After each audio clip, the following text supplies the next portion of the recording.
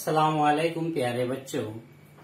आज के इस वीडियो में हम माकूस तगैर इनवर्स वेरिएशन के बारे में मालूम हासिल करेंगे।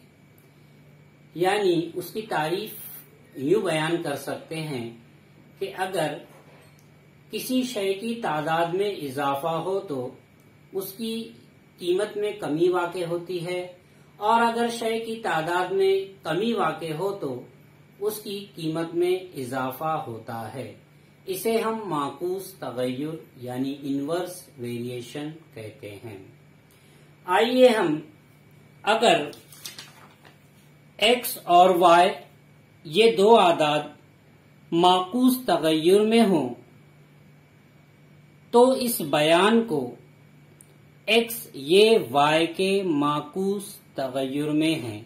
यानी x is inversely proportional to y लिखा जाता है।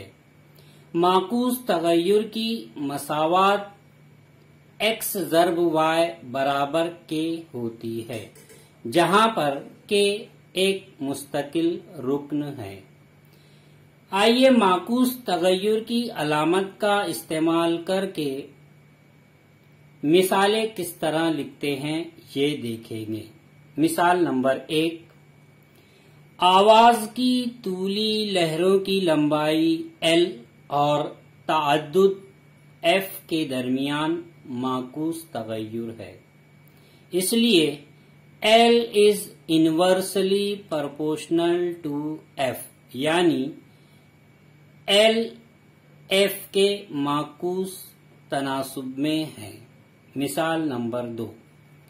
बल्ब की रोशनी की शिद्दत आय और बल्ब और पर्दे के दरमियान, दरमियानी फासले का मुरबा डी माकूस तगैर में है। इसलिए I is inversely proportional to D कुत दो। यानी आई जो है, ये डी के मुरब्बे के माकूस तगैर में है। मिसाल नंबर तीन। सवारी की रफ्तार एस और दरकार वक्त टी के दरमियान माकूस तगैर है। इसलिए S is inversely proportional to T, यानी एस ये टी के माकूस तगैर में है।